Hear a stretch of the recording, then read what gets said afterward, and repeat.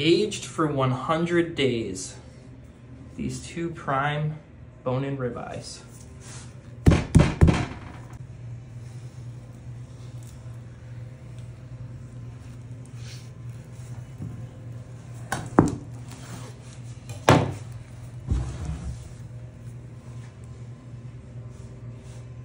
Looks good.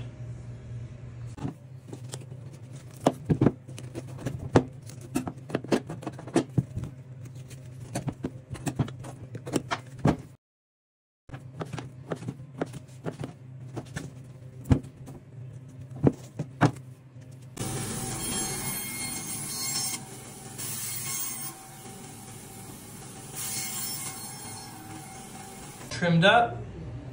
And we ended up with one boneless piece as well.